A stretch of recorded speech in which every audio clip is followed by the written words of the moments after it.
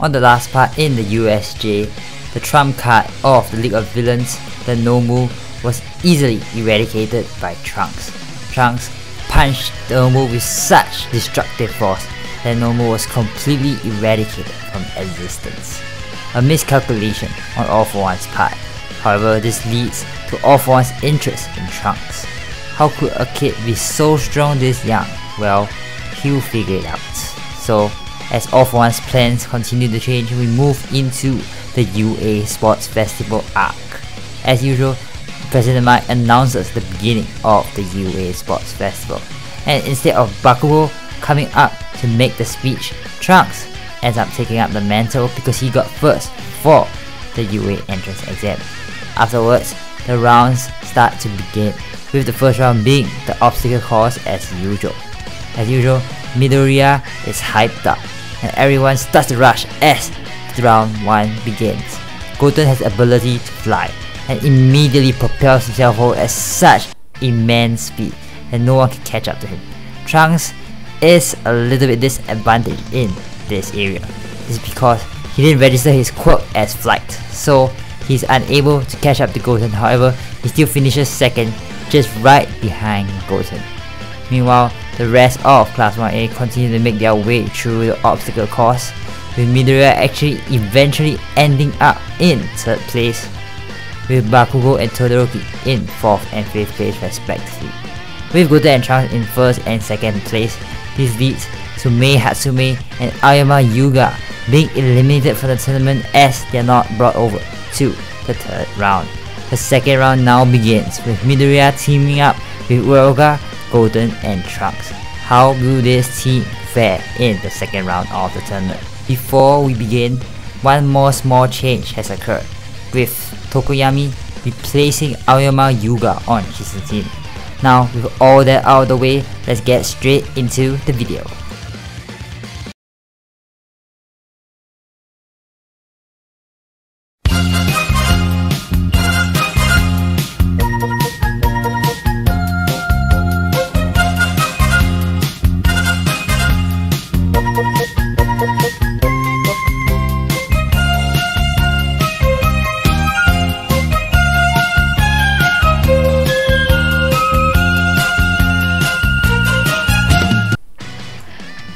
With Goten and Trunks on the same team, this round is basically a free pass for Midoriya.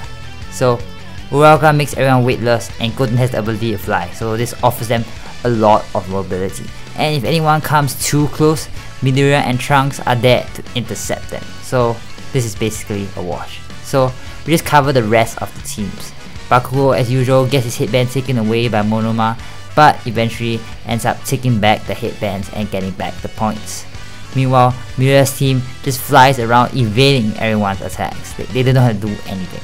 So, eventually, we have Bakugo's team placing in second place, followed by Todoroki's team placing in third place, and Shinso's team placing in fourth place.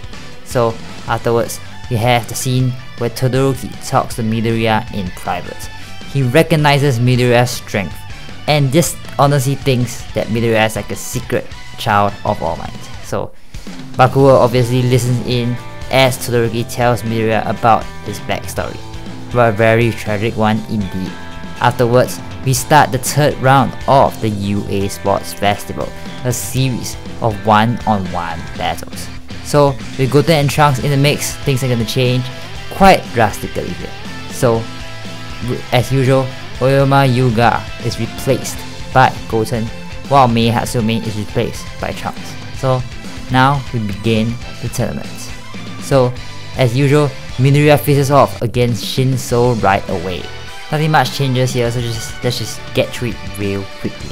As usual, Shinso insults the people who dropped out, the people who relinquished their chance at the tournament.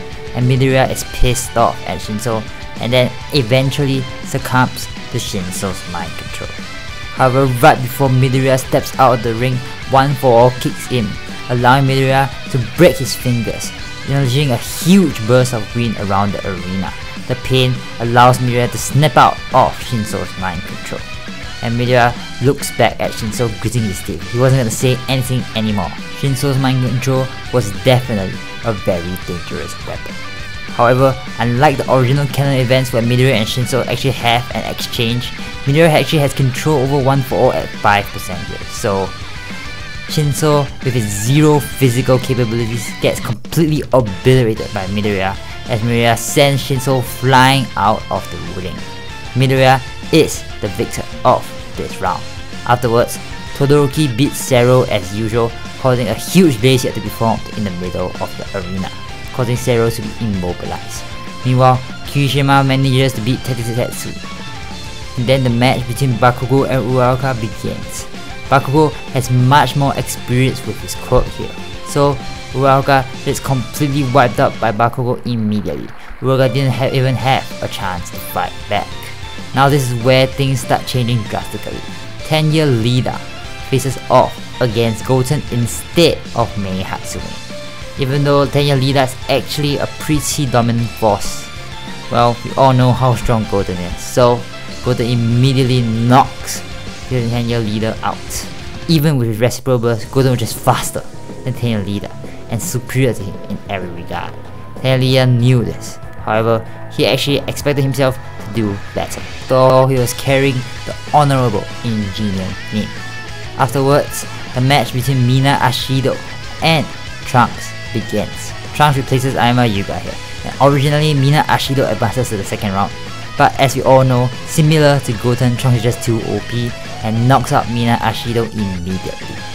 Now, we proceed to the second round of the tournament. The first match is Todoroki versus Midoriya. How will this fight go? Midoriya has control over 1 for all at 5%, while Todoroki just remains the same. So, will Midoriya be able to pull through or will he lose again? Well, these are questions we'll answer in the next part on My Hero Academia.